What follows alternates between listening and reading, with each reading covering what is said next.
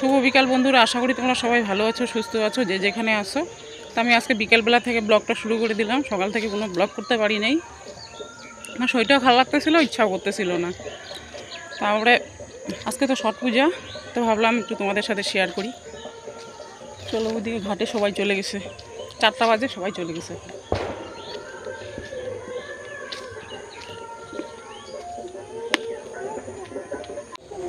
এই নিচুটা দিয়ে নাইমে যাব। সবাই চলে গেছে। ওই নদীর ঘাটের দিকটা। চলো যাওয়া যাক। কেউ একজন ডন্ডি কাটতে কাটতে যাচ্ছে।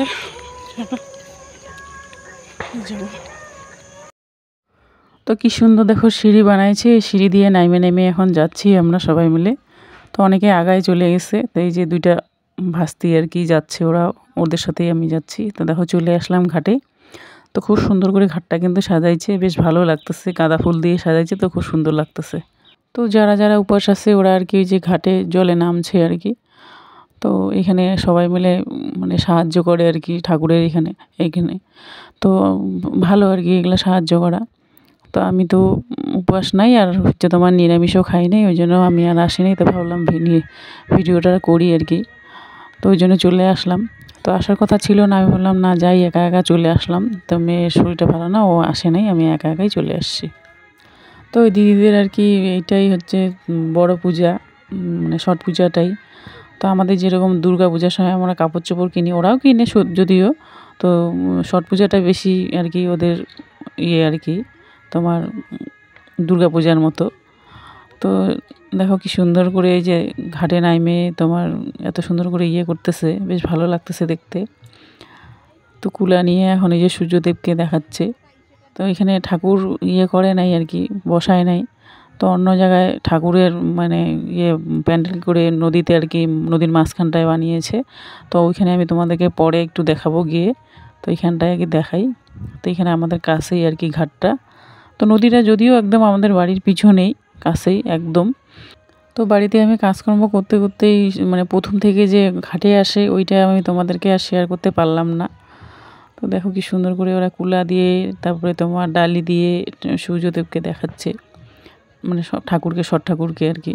তো আমিও মোটামুটি সাত বছরের মতন করেছি পূজা আর কি। বাড়িতে করি নাই, অন্য একটা দিদির বাড়িতে করেছি। তো আমার মানত ছিল, আমার বরের আর আমার মেয়ের। ছোটোবেলায় আর কি মানত করছিলাম। তখনই আমি সাত বছরের মতন পূজা করছি। তো ওই পূজাটা আমি এখন আর করি না, উঠাই দিছি পূজা।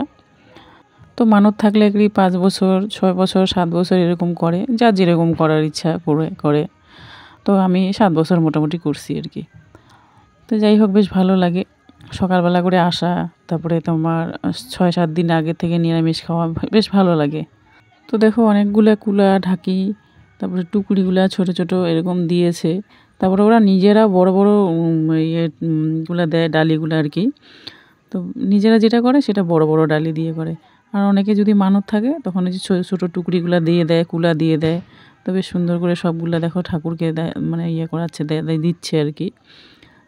করে তারপরে এই যে দিয়ে দিল, এটা রেখে দিবে, তারপর আরেকটা ডালি দিবে, এরকম করে দিচ্ছে। তো যতক্ষণ অবধি সূর্যদেব থাকবে, ততক্ষণ অবধি ঠাকুরকে এরকম করে দেখাবে আর কি। তো নদীতে তো আমি আসি না, আসা হয় না।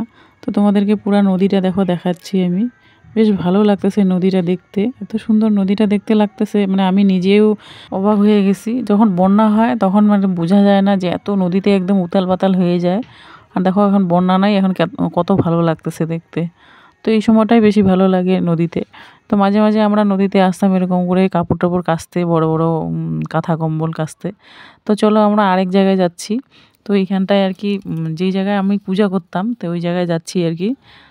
চলো এই দেখো, এইখানটায় বেশ বড় সড়ো করে করেছে। তো এইখানে হচ্ছে এই দেখো, প্যান্ডেল করে মাঝখানটায়, নদীর মাঝখানটায় প্যান্ডেল করে যে ঠাকুরটাকে দিছে আর কি সট ঠাকুরকে।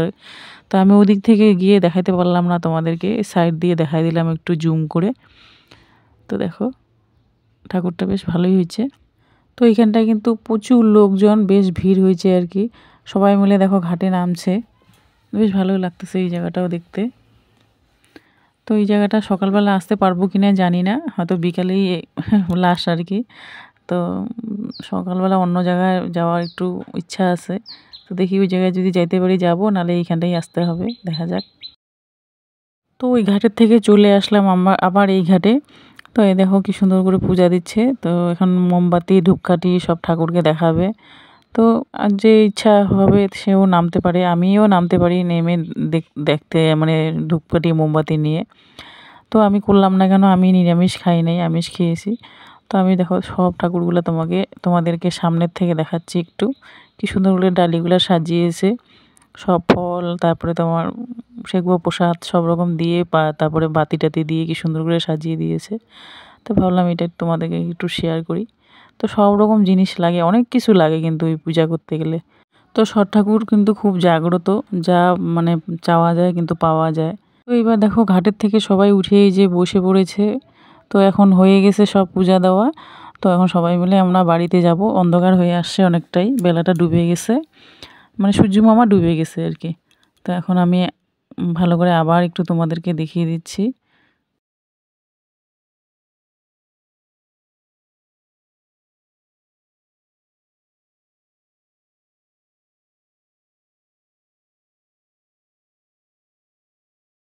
তো বড় ডালিটার মধ্যে সব ছোট ডালিগুলা, কুলাগুলা সাজায় নিয়ে এই যে ঢেকে রেখেছে। তো এগুলো এখন একজন মাথার মধ্যে করে নিয়ে যাবে, ছেলেরা যারা তারাই নেবে। তারপরে এই যে ভাইটার মাথার মধ্যে উঠাই দিল এখন বাড়িতে নিয়ে যাবে। তো আজকের মতন পূজা শেষ, সন্ধ্যা হয়ে গেছে। কালকে আবার ভোরবেলা আসবে, একদম অন্ধকার থাকতে আসবে। তারপরে দেখো আরেকটা ভাইস্তা এখানে আরেকটা ডালি নিয়ে নিল। তো এখানে কিন্তু অনেকগুলো ডালি দেওয়া আছে। তারপরে কিন্তু বড় ডালিটার মধ্যে দিয়ে, গুছায় দিয়ে তারপরে ঢেকে দিয়েছে। তো অনেক ভারী হয়েছে। তো ওই জন্যই ছেলেরা ছাড়া একটা মেয়ে ছেলে নেওয়া সম্ভব না। তো এই যে চলে গেল ওরা আগে। তা আমি সম্পূর্ণটা তোমাদেরকে আরেকবার দেখাবো ঘুরায়। তো ফাঁকা হয়ে গেছে একদম। তো ওরাও সবাই মধ্যে এই যে সেলফি টেলফি একটু নিচ্ছে। কেননা ছট পূজা তো একটা বড় ধরনের পূজা। তো দেখো একদম ফাঁকা হয়ে গেছে। বেশ ভালোই লাগতেছে দেখতে, কিন্তু মোমবাতিগুলো অনেকক্ষণ জ্বলবে। তো এত সুন্দর লাগতেছে দেখতে, ওই জন্য ভাবলাম তোমাদের কাছে একটু শেয়ার করি। তো আমি ভিডিও করতেছি, ওই দিদিটা ডাকতেছে, আমাকে বলে, চল, তুই আবার একা থাকবি নাকি? আমি বলছি, না, একা থাকব না, চলো, আমি তোমাদেরকে ভিডিও করতে করতে যাচ্ছি। তো পিছন দিকে আমি একাই, ওরা আর কি সামনে আগে আগে যাচ্ছে। তো আমি ওদের সামনে গেলে তো আমি আর দেখা যাবে না আমাকে মানে ওদেরকে। তো ওই জন্যই ভাবলাম যে আমি তো একা একা, ওই জন্য একাই ভিডিও করতেছি, মেয়ে আসে না, এই জন্য অসুবিধাই হয়ে গেল। তো সন্ধ্যাবেলা মুহূর্তটা কিন্তু দারুণ লাগতেছে দেখতে। তো এই যে ওরা চলে যাবে এখন উঁচুতে উঠে আর আমি এই সাইড দিয়ে চলে যাব।